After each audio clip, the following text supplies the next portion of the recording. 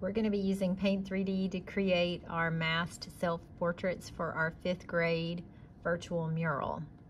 So this uh, project is inspired by some artwork by Katie Vernon. Um, so our plan is to put all of our self-portraits together like this to create a mural of all of our fifth graders this year that we can use for graduation. Okay, so the first thing you're gonna need to do in Paint 3D is um, change your canvas. This is this part's gonna be really important for this because they have to all be able to fit together. So um, you're gonna click on the canvas here. Now I have a rectangular canvas and I want it to be square. Um, you see where the width and height are over here. These numbers need to be the same or really close to the same. So um, we can just, grab the corner and, so you can just stretch it out like this if you want and just try to get it to a square. Okay, so I'm gonna bring, it doesn't have to be exactly the same, but it I will need to be able to fit them together. So, okay, that's pretty close. All right, so now I'm gonna go to the 2D shapes page and I'm gonna uh, make the shape for the head. So we're gonna use a circle. Now you could actually draw your whole thing out um, using the marker tool. That would be fine too, but I'm gonna show you how to use um, the some of the 2D shapes. So I'm gonna put a circle in here and we're gonna make it more like a head shape. You want your head to fill up most of um, the canvas here, so make it pretty big. So that looks pretty good. And um, I'm gonna do just a solid brown line. Um, a black one would be okay too, maybe a little thinner than this though. So there's your, your outline for your head. Okay, if it's the way you want it, you can click a check. And then next thing we're gonna do is um, go to the brushes page and we're gonna use the same color to draw the neck.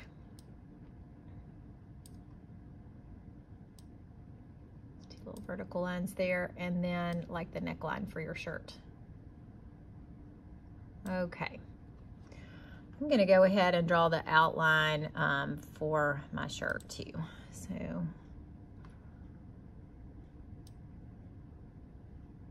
your shoulders are gonna come out a little wider than your head.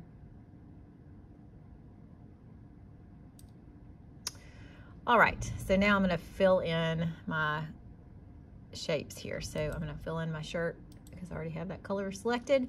And then I wanna find a good skin tone. So I'm gonna click on the brown, but then I'm gonna get a more specific color for my skin tone here. So you wanna um, slide around between the, probably between the yellows and the oranges and find a good range here. And then you can kind of play with this and go darker or lighter um, to find the skin tone that kind of matches yours. All right, and then make sure we have the fill tool and then we'll fill in the head and neck. Okay, so we'll do the hair next and I'm gonna um, pick a color that's kind of similar to what I wanna start with. Um, and then you can click on that and kind of go from there. So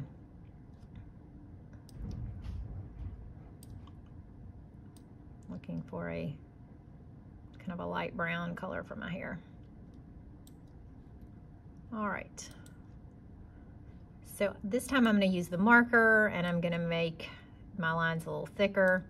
And I'm going to draw just the outline of my hair.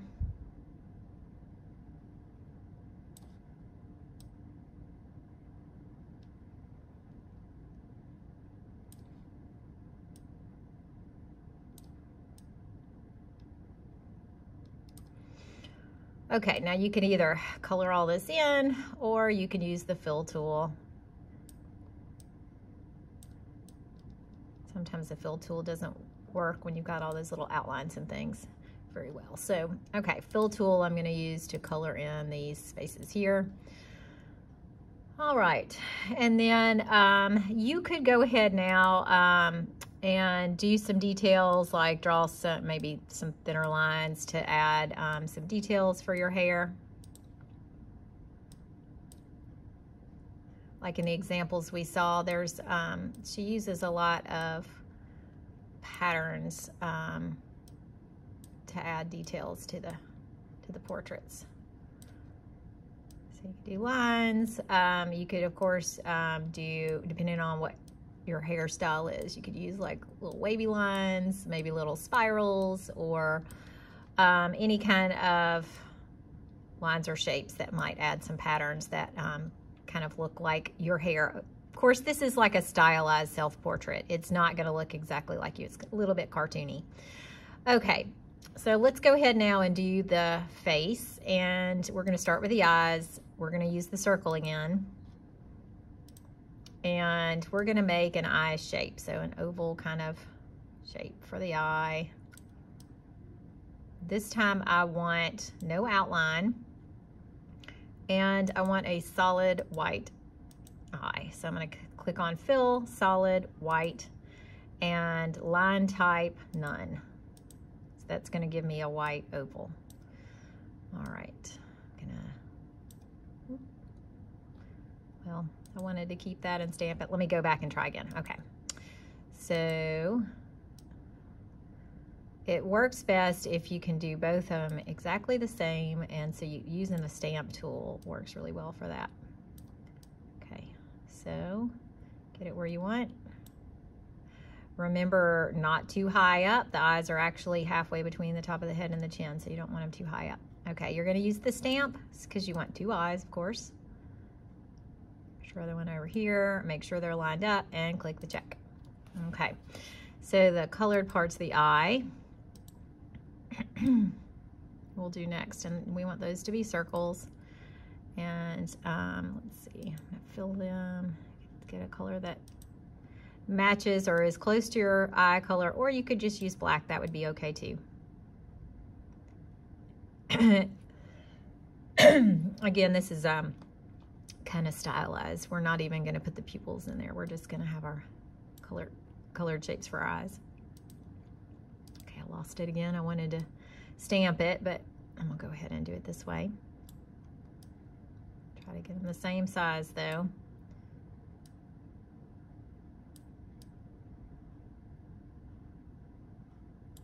Okay. All right, now we can um, work on our mask. Uh, you could maybe use the square and turn it into a rectangle shape, but I think um, drawing it works better.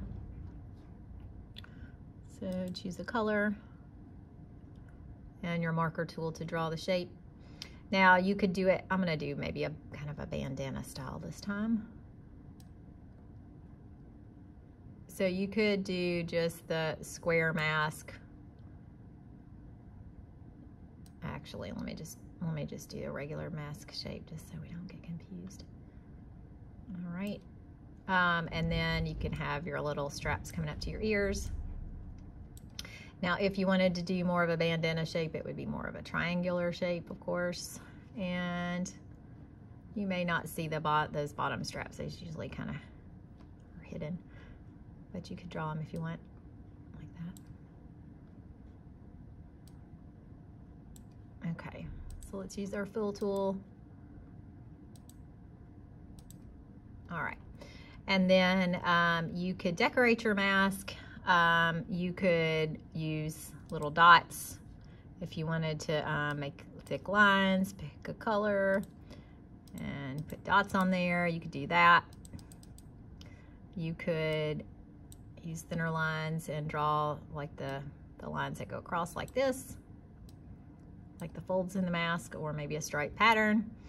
Um, or you could go to the 2D shapes and find a shape that you like and put that on there. So maybe, this might be cool because it will match my shirt. So maybe I want to do little stars on my mask.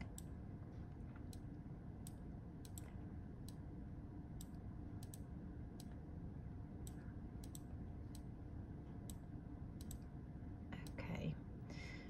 Now, I always forget eyebrows when I'm doing portraits. We're gonna do our eyebrows and we're just gonna do a little line for the nose next. So I'm gonna zoom in so I can do this more easily. I'm gonna pick my brown and for my eyebrows, I'm gonna do these little lines, actually a little thinner than that. Little lines to show the, the hairs kind of go up and out. You could do just one big thick line for your eyebrow if you wanted to. Okay.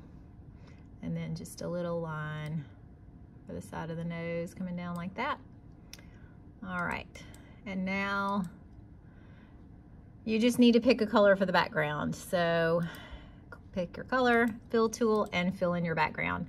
And if you wanted to add um, a pattern to your background, you could do that as well. Um, again, you could go to the 2D shapes and choose a shape that to put in the background. So you could add um, a pattern that way by using the um, stamp tool and repeating that pattern all over. Um, or you could use the marker and make the dots like I've shown you before. Or you could even do something like um, where you're, you're spraying a light little design in there. So different ways you could decorate your background, but solid, uh, solid background is also fine for that.